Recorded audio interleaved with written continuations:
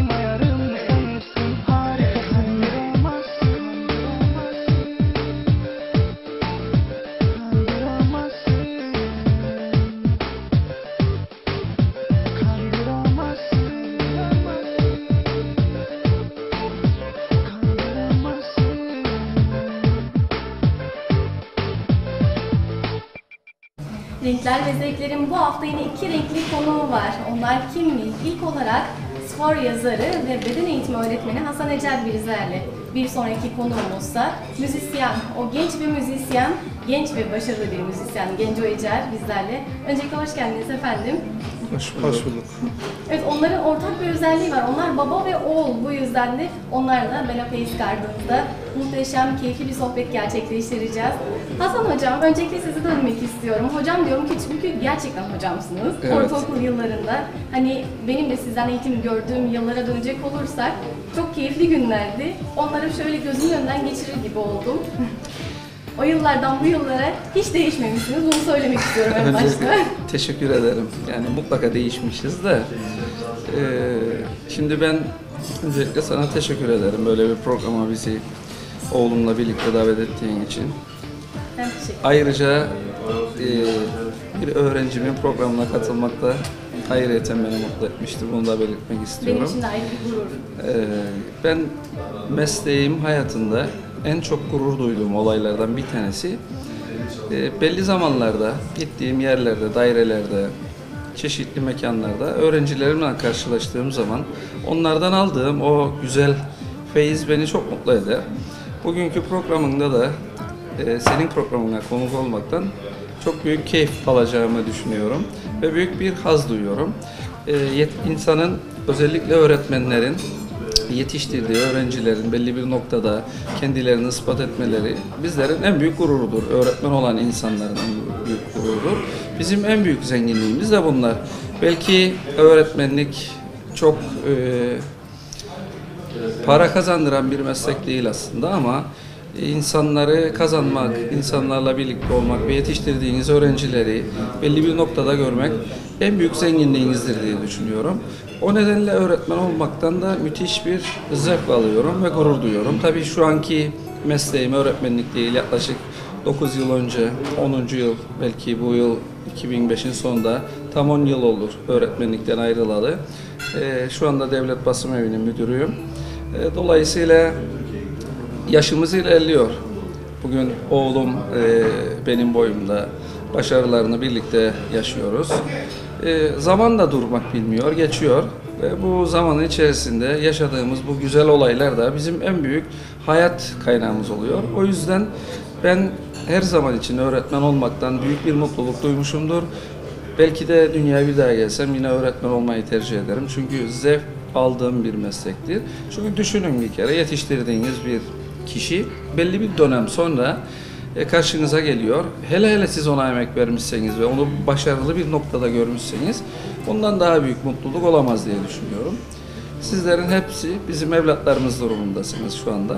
Evlatlarımıza gösterdiğimiz ilgi, alaka, onlardan aldığımız e, mutluluk tabii ki öğrencilerimizden de aynı şekilde e, bize yansıyınca daha da mutlu oluyoruz. O yüzden e, özellikle şunu belirtmek istedim ki e, büyük bir gurur duyuyorum senin programına katılmakla. Çok teşekkürler efendim. Çok e, güzel sözleriniz için ben ayrıca gerçekten gurur duydum. Çünkü her zaman aklımda olan bir öğretmenimdiniz. E, ilkokul yıllarında da belli başlı öğretmenlerimdir hep aklımda kalan. Hani öğrenciler daha çok vakit geçirdiğimiz için belki daha akılda kalıcı olmuştur ama öğretmenlerden böyle hani birkaç tanesi isimleriyle, soy isimleriyle çok nadir de olsa aklımızda kalır. O isimlerden bir tanesiniz. Çok teşekkür ederim ben de bunları duymak güzel ve hoş şeyler. Tabii ki sen de benim aklımda kalan öğrencilerimden bir tanesisiniz. Çünkü genelde beden eğitimi öğretmenleri sporcuları çok iyi tanır ve uzun süre onlar e, bizim aklımızdan çıkmaz. Gördüğümüz yerde onlarla kucaklaşırız, karşılaşırız ama senin ayrı bir özelliğin vardı. E, orta birinci sınıfta benim öğrencimdin. O zaman da çok şeker bir kızcıktın. Küçük, sarışın yine böyle şimdiki gibi. Çok içten ve cıvıl cıvıldın. Hiç hatırlamam. Teneffüslerde gelir hocam hocam işte bizim dersimiz var mı falan diye böyle sorular sorardın. Hissederdim o zamandan yani bana karşı olan e, sevgini hissederdim, hissettiriyordum. Tabii bu karşılıklıydı. E, Bugün de bu noktada olup senin programına gelmek, zamanın ne kadar çabuk geçtiğini göstermekle birlikte büyük bir keyif alıyorum. Gerçekten bunu içten ve samimi olarak söylüyorum. Dediğim gibi sevdiğimiz ve bizim de aklımıza kalan birçok öğrencilerimiz vardır. Ama sporcu olmamana rağmen benim aklımda kalan öğrencilerimden bir tanesiydi. Çok teşekkürler. Ben teşekkür ederim. Ve Genco hemen sana dönmek istiyorum. Senin de arkadaşlığımız çok çok yıllar öncesine dayanıyor, tarihli Doğrudur. yıllarına. Beraber e, hani mahallede oyun oynarken bu yıllara gelmek gerçekten hani ikinizi de böyle karşımda görmek ayrı bir e, onur ve gurur benim için. Sen bizim ayrıca Türkiye'de e, sesini duyurarak, kendini kanıtlayarak da bizim gururumuz oldun. 2008 yılı mıydı Kandırmazsın albümü yanlış 2009. hatırlamıyorsam? 2009. 2009, 2009 yılında Türkiye'de kendini kanıtladın ama sonrasında hemen bir o dönüşü yaparak daha da e, yerini sağlamlaştırdın. Neler e, geçti o yıllardan mesela hiç ben seninle ilk tanıştığım dönemlerde müziğe karşı bir ilgin olduğunu hatırlamıyorum. Nasıl oldu bu müzikle tanışman ve Türkiye'ye gidişin? Aslında ben ufak yaşlardan itibaren müzikle hep iç içeydim. Ama bizden sakladın. Besteci kişiliğimi aslında insanlardan sakladım diyelim bir süre. Çünkü o, o, o evrelerde daha deneme aşamasındaydım. Annem babam bilirdi sadece evde işte bir şeyler karalayıp kendi başıma söylediğimi falan. Ama ondan öncesi var tabii ki ilkokulda mesela okulda koroda solistim. Ondan sonra 23 Nisan'da 23 Evet. 23 Nisan'da işte bir seçilen bir çocuk korosu vardı. Onlarla birlikte Ankara'ya gittik. Orada yine solistlik yaptım. Ama işte söylediğim gibi beste yapabildiğimi, söz yazabildiğimi ben de bilmezdim açıkçası böyle 17-18 yaşlarına kadar. Evde denemeye başladım. İlk yaptığım besteler, sözler çok kötüydü. Ama gün geçtikçe ilerlemeye başladı. Yani daha farklı sözler yazmaya başladım. Bestelerimde değişiklikler oldu. Tabii bunu da söylediğim gibi hiç kimseyle de paylaşmadım ben. Ta ki kandıramazsın çıkana kadar. Hatta birçok insan Kıbrıs'ta arkadaşlarım falan şok oldu kandıramazsın çıktığında. Çünkü o zaman bile e, klibimin çıkacağını, albümümün çıkacağını Türkiye'de hiç kimseye söylemedim ben. İnsanlar üzerinde bir evet şok etkisi yarattı Kıbrıs'ta. Evet. Ee, çok da renkli bir klipti hatırlıyorum ben. Ee, ve çok farklı bir tarz kullanmıştın. Elektro tarzı mıydı? Yani sesinin de rengi çok farklıydı. Evet sesime e, bayağı bir efekt koydular. Ta ki o dönüşüne kadar Evet. öyleydi. Efektli bir elektro ses kullandık. Doğrudur. Ama ikinci albüm sanki e, seni daha böyle yansıtmış gibi. E, sesinin rengiyle bir de Soner Sarıkabadayı imzasıyla muhteşem bir kliple de o dönüşüyle tekrardan piyasaya döndün. E, nasıl tepkiler aldın ikinci albümde? İlk albümü kıyaslarsak E tabii ki o dönüşünde çok daha iyi tepkiler aldım. Çünkü çalıştığım insanlar, albümümde çalıştığım aranjörler, e, fotoğrafçım, Soner Sarıkabadayı vesaire bunların Türkiye'de bu sektörde çok iyi yerleri var. isim yapmış insanlar. O yüzden bana tepki olarak çok daha olumlu döndü o dönüşü. Maxi single'ının geriye dönüşü. Peki e, albüm ne zaman çıktı? Hemen arkasına mı çıkmıştı Hemen albüm? arkasına çıkmadı. Ee, Kandıraması'ndan sonra o dönemki e, prodüktörümle ben yaklaşık bir 8-9 ay uğraşmak zorunda kaldım. Çünkü sözleşmemi vermeme durumu vardı. O yasal işlemler bittikten sonra işte yeni bir menajerle anlaştım. DMC şirketiyle anlaştıktan sonra yaklaşık bir, bir buçuk sene falan sürdü Kandıraması'ndan sonra o dönüşünün çıkması. Hı hı. Albümde senin şarkıların da vardı. Evet. Soner Sarıkabadayı'dan aldığım U dönüşü dışında diğerlerinin hepsi benim bestelerim. Söz müzik bana ait. E, o dönüş aslında senin için bir dönüm noktası oldu o zaman. Kandıramazsın belki hani ilkti ama e, Kandıramazsın o dönüşünü kıyasladığın zaman hani aranjörler, çalıştığın insanlar Çok arasında fark var. çok fark vardı. Çok fark var tabii ki. Yani benim Türkiye'de duyulmama vesile olan şarkımdır U dönüşü. Hı hı. Yani kandıramazsın da birçok insan, beni tanıyan birçok insan kandıramazsın da bilir ama U dönüşü radyolarda çaldı, klaplarda çaldı. Kandıramazsın o kadar çok duymamıştım açıkçası ama herkes beni yani Genco Öcer U dönüşü olarak şu anda biliyor Türkiye'de.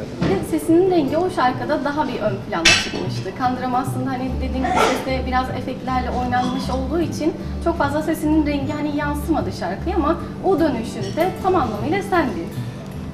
Aslında U dönüşüyle de tam anlamıyla ben değildim. Onu söyleyeyim.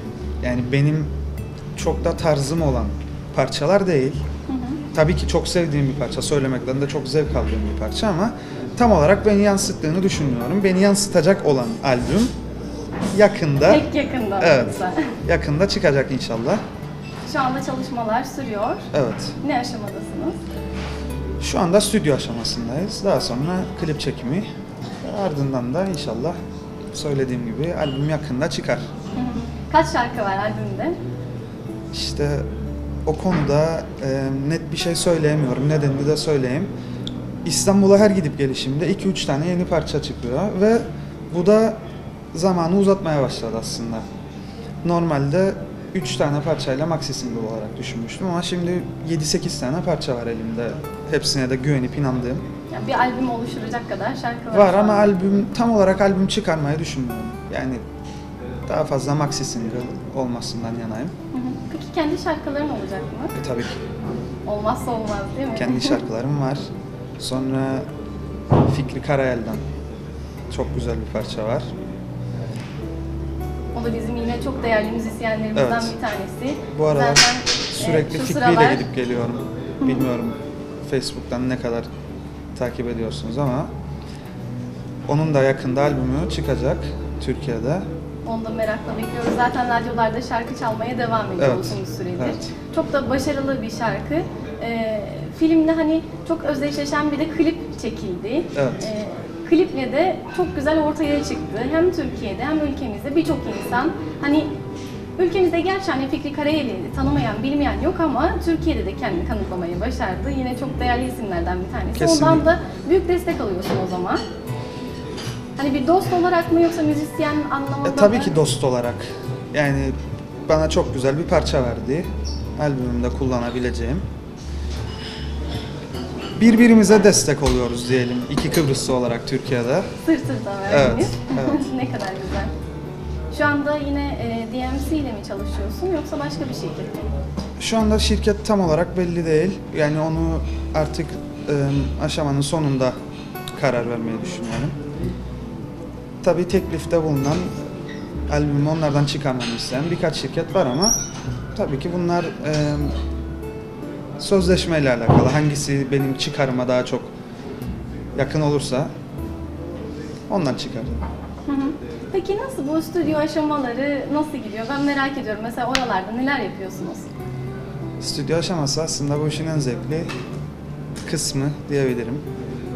Çünkü e, stüdyoya girdiğinde yanında birkaç tane müzis, müzisyen arkadaşında olursa hala sürekli yeni bir şeyler ekliyorsun o şarkının üzerine. Ve o şarkı yaratılmaya başlandıkça böyle yoğruldukça inanılmaz bir İşin keyif. zevki de artıyor Tabii değil ki mi? kesinlikle. Yani çok büyük bir keyif benim için. İstanbul'da bu aralar böyle geçiyor yani.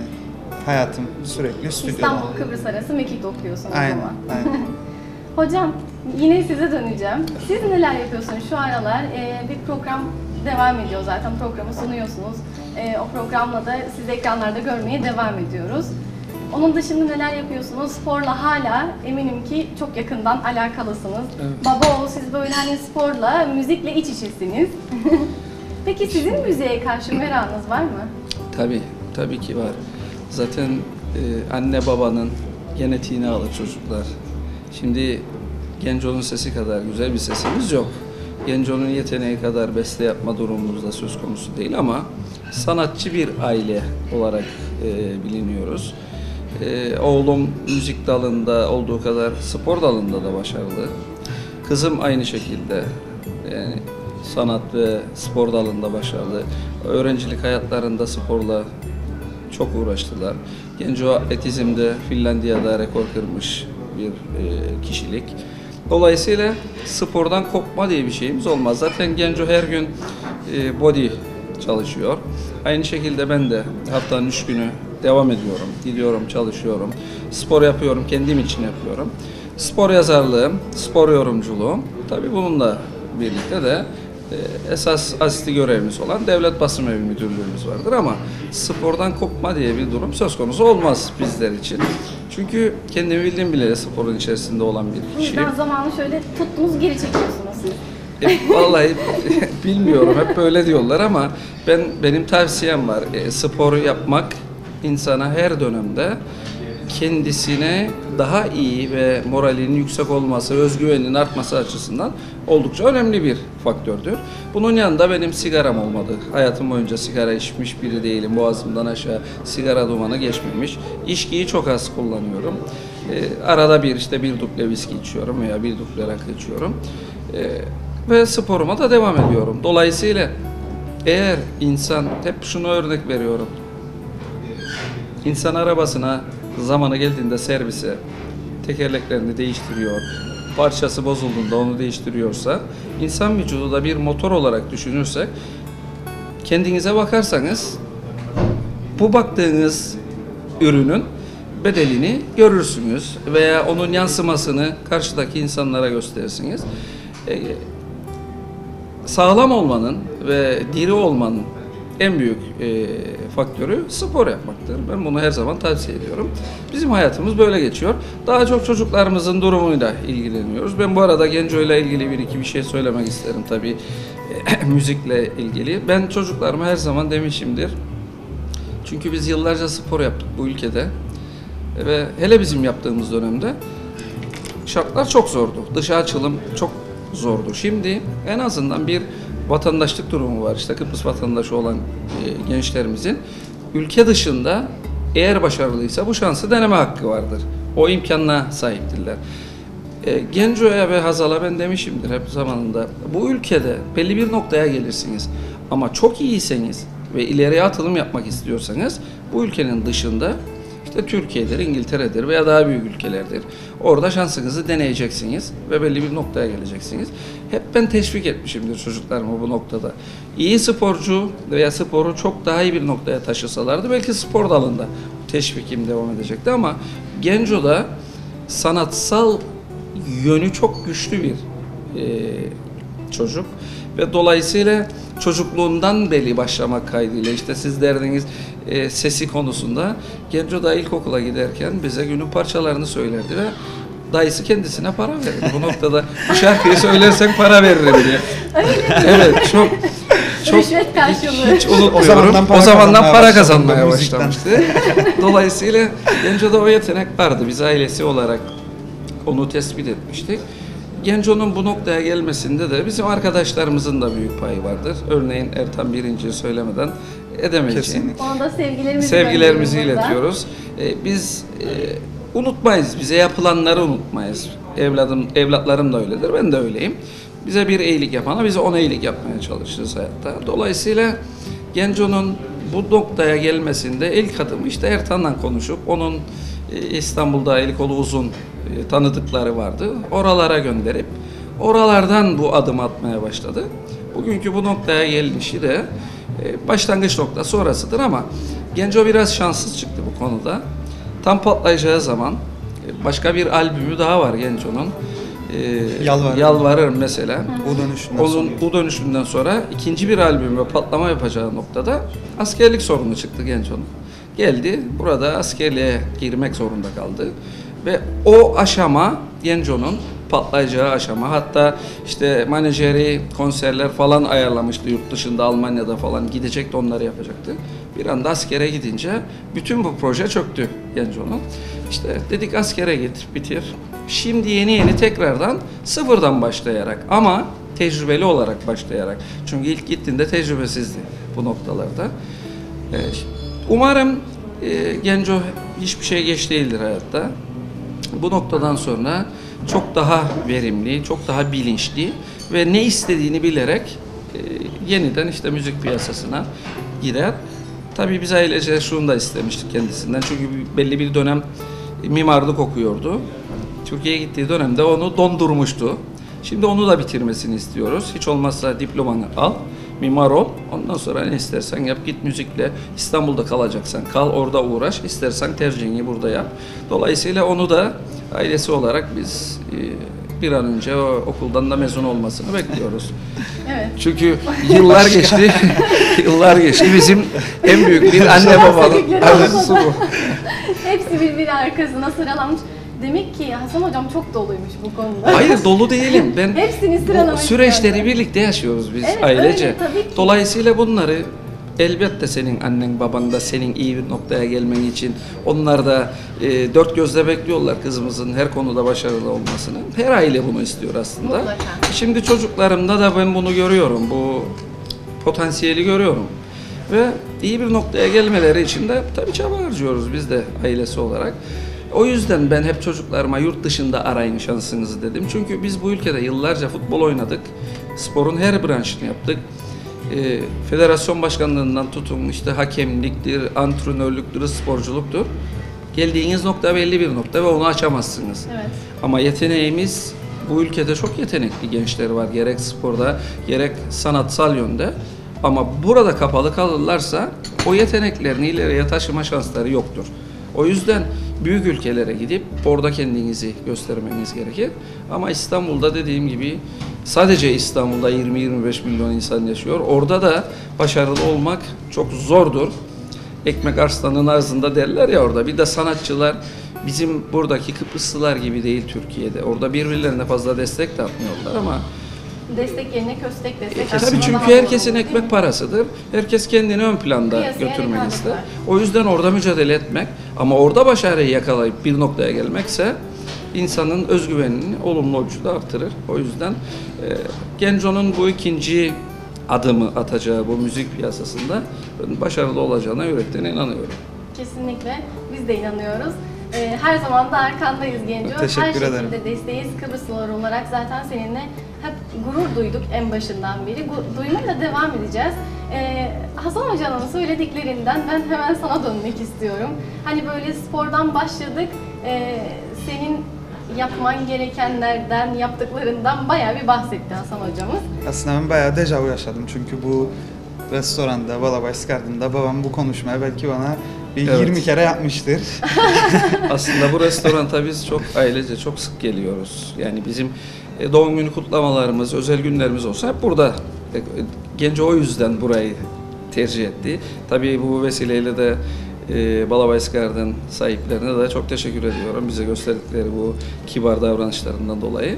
Onun için Genco'nun burada dejavu yaşaması Yaşaması. gayet doğaldır. Çünkü Burada her yemek yediğimizde bu konular açılıyor ve biz bunlardan hep bahsediyoruz. Onun için çok da yabancı değildir Genco bu ortamda bunları dinlemeye. Genco hani sporcu bir baba olunca, sporcu bir aileden gelince sporla tanışmak da herhalde çok küçük yaşlara denk geliyor. Ne zaman tanıştın sporla? İlkokul 4'te, ilkokul 4. sınıfta evet atletizme seçildim. Atletizm takımına seçildim okulda. Daha sonra liseye kadar atletizme basketbolu götürdüm. Babam gibi hiç futbol oynamadım. Futbola karşı pek bir merakım yoktu açıkçası. Daha fazla basketbol ve atletizm söylediğim gibi. Yüzüme. Yüzme de aynı şekilde ama asıl ana branşım her zaman atletizm oldu. üniversiteye başladıktan sonra spor hayatım sadece spor salonlarında devam etmeye başladı. Yani söylediğim gibi çocuk yaştan beridir ailemin sayesinde, annemin, babamın sayesinde sporla hep iç içeydim. Yani daha spora başlamadan önce de zaten babam hakemlik yaptığı dönemlerde ya da antrenörlük yaptığı dönemlerde ben sürekli babamla babam nereye ben oraya gezdiğim Çok ettiğim güzel için bir diyaloğunuz var gördüğüm kadarıyla. Bu çok küçük yaşlarda da böyleymiş o zaman. Hani sizi o ortak noktada birleştiren spor varmış ilk dönemlerde. Bunun dışında hani nasıldır aranız baba oğlu olarak? bence yaş ilerledikçe çok daha iyi olmaya başladı diye düşünüyorum ben. Şimdi tabii daha iyi olacak bundan sonra da. Çünkü dediği gibi Genco'nun doğru. Yaş ilerledik sonra insanın Paylaşımlar. düşünceleri ve hayat görüşü de değişiyor. Tecrübeleri artıyor. Evet, o tecrübeler Şimdi paylaşılıyor. çocuk yaşta, gençlikte ne söylerse söylesin anneler, babalar çocuklarına biraz da delikanlılığın vermiş olduğu o cevher derler ya.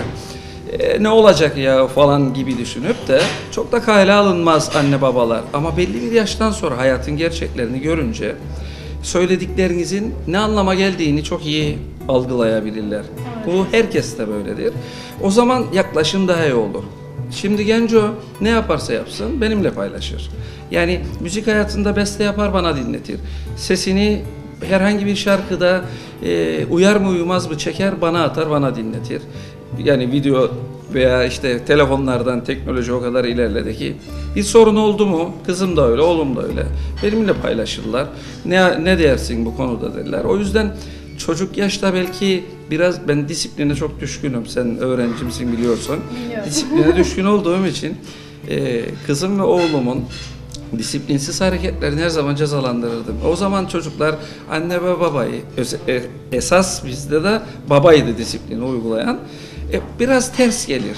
E, istemez çocuklar o dönemlerde kendini kısıtlasınlar. E, biraz tabii çekinir. E, erkek çocuk anneye daha bağlı, bağımlı olur. Kız çocuk babaya bağımlı olur. Onlar çocuk yaşlarda, gençlikte 20-25 yaşına kadar.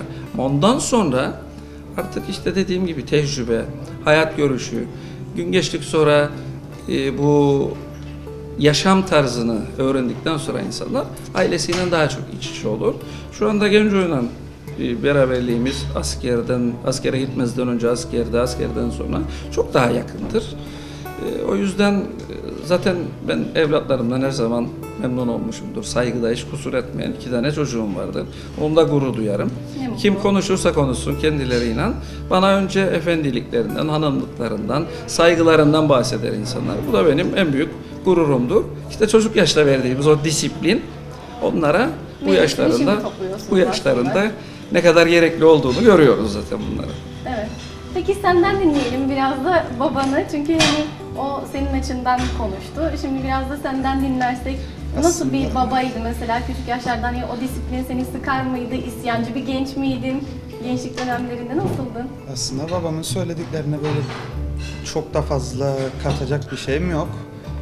Gayet iyi açıkladı ama söylediği gibi ufakken, çocukken daha böyle babamdan her zaman çekinirdim.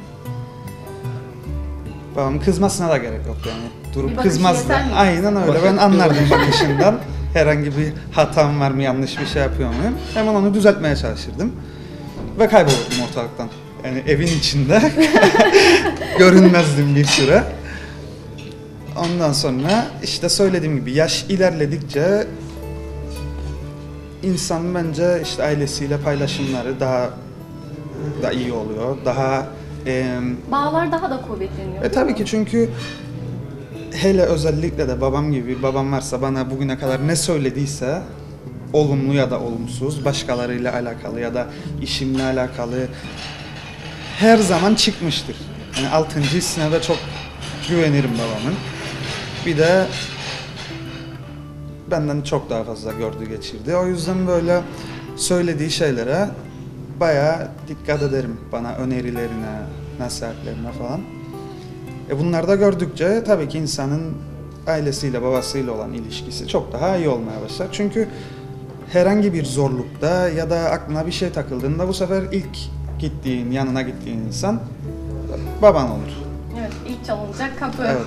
Yani bu ilişkiler temelde önemlidir dediğim gibi. Şimdi gençlik çağındaki Genco'yla, isyankar Genco'yla şimdiki Genco Çok da isyankar değil. çok aslında. isyan ederdi, içinde tutardı ama yine cezaya gireceğini de bilirdi. Mesela bir bile örnek vereyim, bir yani. espri olsun. Anladım kesin Ee. Bir gün eve gittim. Tabii ki evde disiplini biz yaparız. Genco suç işledi. Ama ben eve geç gelmezdim. 8 sekiz buçuk civarı yeme saati eve gelirdim. İşlerim var.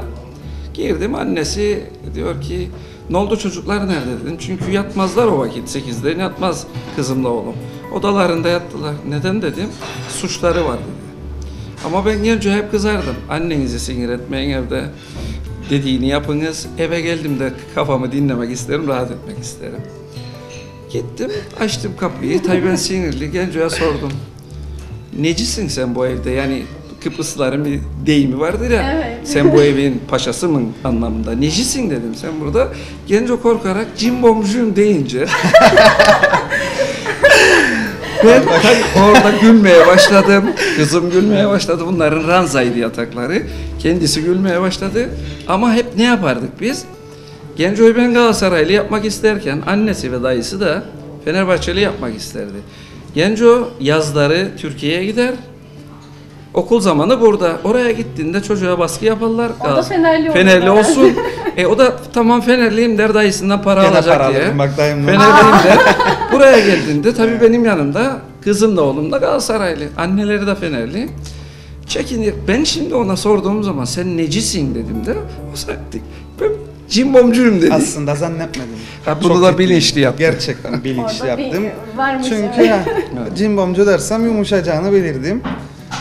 O yüzden Cimbomcu hiç cimbomcuyum unutmam. Nereden vuracağını da biliyor Evet. o Biliyor, zaman. O biliyor. zamanlardan zekiliği Şimdi de öyle. Şimdi de öyle. Nereden vuracağını biliyor. Yani var o özelliği var genç onun. İnsanları iyi tanır ve ona göre yaklaşır. Mesela babanın en zayıf noktası nedir? Nereden vuruyorsun onu? Babamın aslında çok zayıf nokta aslında be- be- em, şöyle söyleyeyim. Babamın belki de çok zayıf noktası vardır ama babam o zayıf noktalarını göstermez. E, pek de böyle gösteren biri değildir zayıf Güzel noktalarını. kamufle etti yani. Kesinlikle. Hayır, net olarak ben içimde parçalanırım. Kendi kendimi de yiyebilirim ama bir söz vardır. Birine zayıf tarafınızı gösterirsen size oradan vururlar. Gün gelir. Onları Genco'ya da söylerim. Her insanın e, benim en zayıf tarafım duygusallığımdır ve vefalı oluşumdur. Çok yufka bir yüreğim var. Çok sert olmama rağmen. Genco söylemeden ben söyleyeyim bunları. Genco da bunu bilir aslında ama net olarak e, spesifik olarak bir şeyi sorduğumda kızıma oğluma işte babanızın zayıf tarafı nedir? Net olarak bir şey söyleyemezler. Ama babanızın kötü tarafı nedir dersen disiplin edecekler onu biliyorum.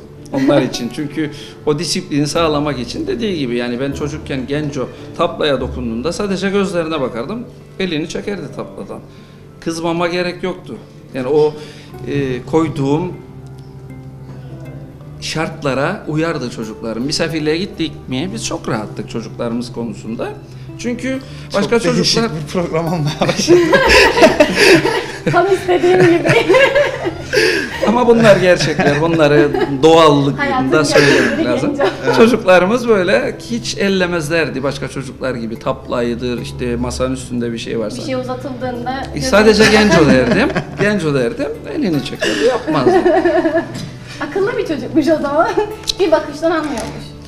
E, Vallahi bilmem akıllı mıydılar yoksa biraz çekinirler miydi benden? Çünkü kızardım ben. Ya, dövmezdim ben çocuklarımı. Zaten dayak çözüm değil. ama ama disiplin konusunda, ceza konusunda çok cezaya koyduk kendilerini. Genco Ama- yalvarırdı bana bir gün ama Genco çok büyük, o yalvarırım şarkısı ondan çıktı. Çok büyük özellikleri vardı Genco'nun bu konuda. Böyle bir gün gene cezalandırdı. Hep hayattan bahsediyoruz ya. Yaş Programda biraz ilkokul, ilkokula gidiyor. Daha ilkokul bir, birinci sınıf veya ilkokul bir. Hazal'da iki yaş küçük. Hata yaptılar mı ben bunları cezaya koydum. Bir gün dedim ki babaannesine gidecekler şeye.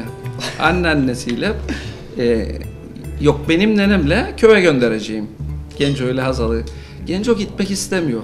Burada kalıp arkadaşlarıyla oynamak istiyor. Ben dedim hayır Genco bu hatayı yaptın. Sen köye gideceksin. Biz de o gün tabii gitmek isterik çünkü hafta sonu yemeğe çıkacak arkadaşlarla. Yani Cezadan bahane yani anladın? Genco, Şey, Genco bana oturdu diyor ki bu ya, o yaşına. Babacığım bir dakika. Oturalım bu konuyu konuşalım, tartışalım. Yani ilkokulu yeni başladı mı yoksa ana sınıfında mıydı neydi? Net hatırlamıyorum tarihini ama babacığım lütfen bu konu tartışalım. Gel otur anlaşalım bu konuda diyebilecek bir durumdaydı o yaşlarda bile. Tabii bunları gördüğümde böyle hoşuma da gider. İşte çocuğun seninle bazı şeyleri bu şekilde tartışır ama biz de disiplinden uzak kalmak istemeyiz. Bir de Çok da yumuşamamak bir de lazım. o hafta sonu dışarıya çıkacağız ya. Başımızdan atmamız lazım. Vicdanım ve içim böyle kan ağlayarak o cezayı da yaptırırdım kendilerine. O Böyle zaman bir durum işte. bu disiplin dışında sizin o zaman herhangi bir e, diyaloğunuzda sıkıntı yok. Yok çocuklarımla benim diyalogumda. babam bilir. Bu yüzden- gerçekten çok keyifli bir sohbet. Ee, bilmiyorum yavaş yavaş sonuna da geliyoruz ama e, Genco sen müzik hayatına uzun yıllar herhalde devam etmek istiyorsun. Ee, şu anda hani ikinci adım mı, ikinci bahar mı diyelim bu yeni döneme? İkinci bahar diyelim, evet. Ama bu benim için çok daha İyi olacak. iyi olacak. Öyle inanıyorum. Şarkılara bir kere çok güveniyorum. Bir de babamın söylediği gibi ilk başlarda bu işte daha çömezdim. Daha fazla menajerimin ya da işte oradaki tanıdıklarımın söyle, söyledikleri doğrultusunda hareket ettim hep. Ama şu anda artık bu konu üzerinde bir hakimiyetim var. Kendime güvenim çok daha iyi. Çevrem çok daha genişledi Türkiye'de. O yüzden benim açımdan çok daha iyi olacağını düşünüyorum. Hı hı. Bir de piyasaya ilk girenler hep böyle baskı mı uygularlar orada? Aslında baskı değil, Türk e, Türkiye'de özellikle bu işlerle ilgilenen insanların dil kabiliyeti çok iyi. E, ben de oraya gittiğimde söylediğim gibi hiçbir şey bilmediğim için Genco şöyle olsun, şunu yapalım, bunu yapalım, bence şöyle yapalım, bu şarkı olsun, şu şarkı olsun. Her dediklerine okey dedim ben. Ama söylediğim gibi dememek lazımmış. Kandıramazsın Onu- dedim ama kandırmışlar Onu onu öğrendim aynen ilk başta. Kandırma değil aslında da. Tabii tabii bu işin Onların şakası tabii. istedikleri e, şekilde bir e, albüm çıktı ortaya. Pek fazla beni yansıtmayan şekilde e, parçalar çıktı. Mesela o zamanki parçalarım da söz müzik bana aitti ama mesela onlar şey derdi ona. Genco bunlara benzeyen bu tarz bir şarkı yap. Ben hemen ona göre bir beste yapardım. Ama şu anda yaptığım şarkılar, besteler, albümümde olacak parçaların hepsi gerçekten beni yansıtan şarkılar. O yüzden de bilmiyorum belki de bu yüzdendir kendime çok daha fazla güvenim var bu konuda. Peki e, bu çıkacak e, maxi single'da hı. ne gibi tarzlar olacak? Yani daha önce mesela elektro gördük, R&B gördük, pop gördük. Mesela şöyle göreceğiz? söyleyeyim, hiç slow söylemedim ben. Çok güzel iki tane slow parçam var. Tabii ki pop yine var. Ee, onun dışında R&B'ye kaçan ama e, içinde Türk motifleri olan bir parça daha var. Funk da var. Yani Olmazsa olmaz yani. Kesinlikle. Ama yani böyle çok da böyle pop albümü olmayacak. Onu söyleyebilirim. Tam bir sentez olmuş o zaman. Aslında hepsi birbiriyle bağlantılı parçalar. Yani e, şimdi sana sayarken pop da var, slow da var, funk da var, o da var, bu da var dedim ama şarkıların hepsini tamamını böyle arka arkaya dinlediğinde bir bütün oluşturan parçalar. Ona da dikkat ettim, özen gösterdim. Ben çok teşekkür ediyorum size. Süremizin sonuna geldik. Aslında böyle sabaha kadar sohbet edebiliriz. Konu konuyu açacak Ha, ama. tabii tabii. Şömine eşliğinde hani hava soğuk ama biz hissetmiyoruz burada. Gayet sıcacık bir Yok yok benim ortamdayız. sıkıntım o değil. bir saat daha devam etse bakalım babam daha benimle anlatacak televizyonda. Canım o kadar korkmaya Yok yok şaka yok. yaparım şaka yaparım. Genco'nun ses tınısı çok güzeldir ve hep sürekli söylüyorum. Şimdi bir yani, de şey söyle babam bakar Ee, bir Evet, şarkı. onu ben desem aslında. yani böyle onu bir, ben mi evet, desem? çok güzel bir ses tınısı Şimdi var ve stop parçalara çok güzel gider sesi. Şöyle bir dörtlük senden alamaz mı? Aslında şimdi gitar falan olsa gerçekten çok güzel olur. Ben de isterdim söylemeye ama bir dahaki programa yanımda bir arkadaşım getirip bir gitarla istediğin kadar söyleyebilirim sana. Tamam. Olur. Süper olur o zaman. Tamam, anlaştık. Ben tekrardan size çok çok teşekkür ediyorum. Baba oğul e, gerçekten müthiş, keyifli bir sohbet çıkardınız. Sağ olun efendim. E, kolaylıklar diliyorum ben çalışmalarınızda size. Teşekkür. İleriki dönemlerde başarılar ardı ardına gelecektir. E, baba da gurur duymaya devam edecektir eminim. Elbette. Değil mi? Elbette. Ben zaten her zaman gurur duyuyorum evlatlarımla. Öncelikle sana teşekkür ederim. Böyle bir programda bizi konuk ettiğin için. Balabayis ailesine, Balabayis Garden ailesine gerçekten bize bu imkanı sağladıkları için ayrıyeten tekrardan teşekkür ediyorum. Hoş bir sohbet oldu. Umarım e, bundan sonra e, belki Genco'yla dediği gibi daha e, güzel müzikli programlar yaparsınız. Yalnız. Yalnız. Genco beni bundan sonra istemez bu, bu noktadan sonra herhalde babamı çağırmayın falan diyebilir yani size. Şaka bir yana güzeldi. Babamla da ilk kez bir programa Evet bizim katıldım. için de çok önemli bu O zaman program. çok da güzel bir anı olarak Evet, kalacak evet, size. e, güzel bir an olacak. Tekrardan teşekkür ederiz böyle bir programa bizi kattığınız için. Ben teşekkür ederim. Sağ olun.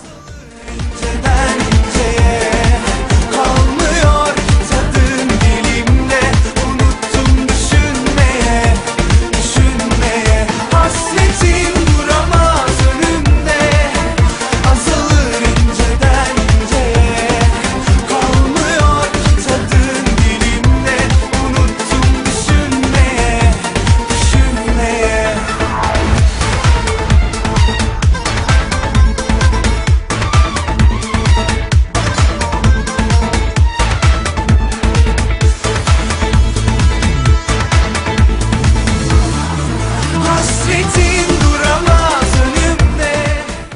Renkler ve zevklerden bu haftalık da bu kadar. Haftaya aynı saatte yeniden görüşünceye dek şimdilik hoşçakalın.